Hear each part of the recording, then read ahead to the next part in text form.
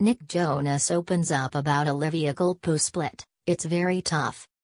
Nick Jonas is opening up about his breakup with Olivia Culpo, less than two weeks after the jealous singer confirmed his split with the former Miss USA winner. The singer sat down with ET to discuss his career and long-term battle with diabetes, but the conversation quickly turned to his recent heartbreak.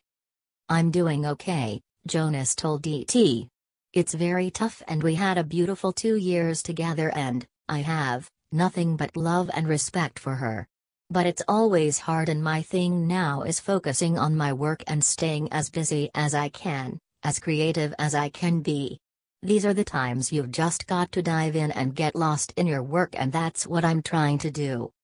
Dealing with a public breakup is even more difficult, as the singer's relationship with the actress and beauty queen was often in the spotlight. Jonas previously admitted that his single Jealous was written about Culpo, who also appeared in the music video, and he admits he has some regrets.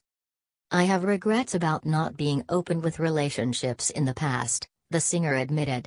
That's the thing that makes it actually more challenging. On many levels, you try to hide the relationship or do things to make it more private, but that just adds more stress on the relationship.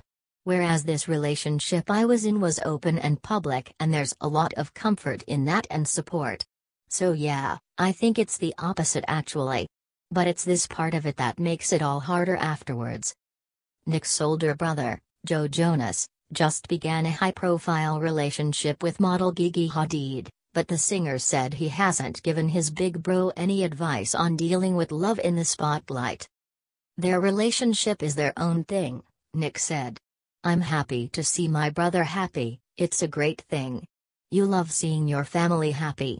She's a great girl, and I love spending time with them together, but as far as the details of their relationship, that's on them.